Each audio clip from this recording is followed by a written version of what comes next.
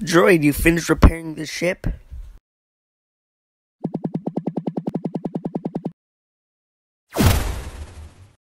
Dutch, help me out with the droids.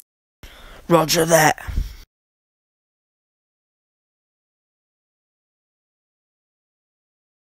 What the heck is this?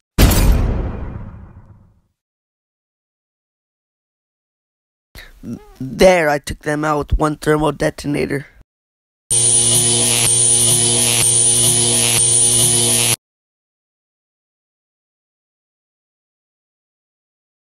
Is that a droid?